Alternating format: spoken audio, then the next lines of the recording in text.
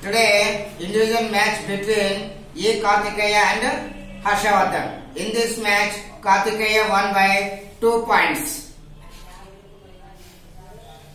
Congratulations. Congratulations.